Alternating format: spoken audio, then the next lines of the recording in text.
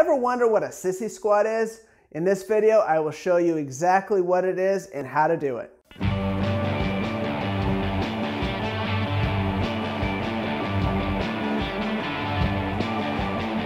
Hey guys, so this exercise is called sissy squats and this has nothing to do with being a sissy, but I thought this was a good uh, example of another uh, movement that you could do for your lower body, uh, either at your home gym like this or at a commercial gym as an accessory to your foundational movements.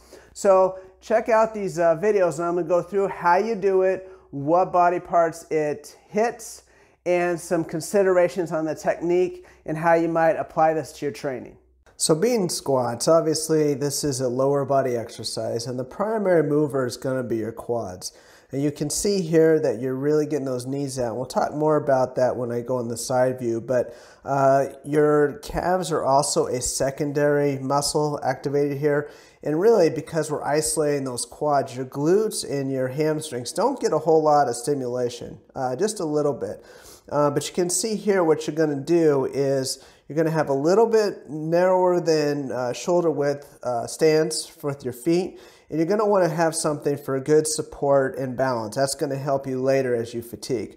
Uh, here's a side view. Now you can see what you're doing is you're really pushing those knees forward and you're feeling a real good stretch in those quads. So you're leaning back and keeping the tension on the quads the whole time.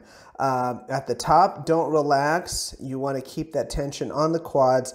And uh, uh, here I'm using an incline bench for support. You can do that, or as you saw on the other side, uh, using the, the uh, rack. But again, you want something that's stable, uh, that's not going to move on you.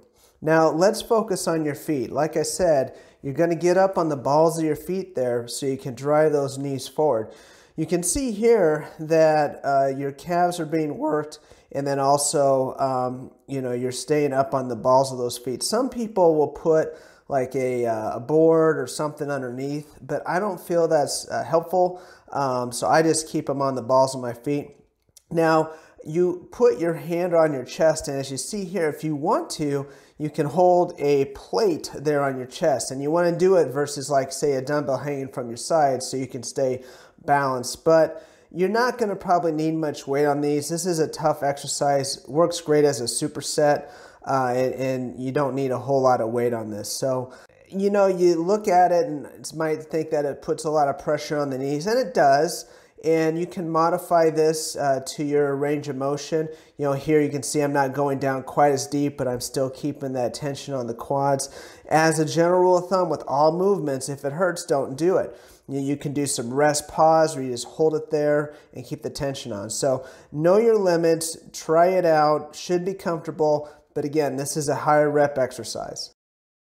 Hey guys, thanks for watching. I hope you liked this video. If you did, please hit the like button, uh, share, uh, subscribe to the channel. Thanks again for watching. Until next time, keep making every day count.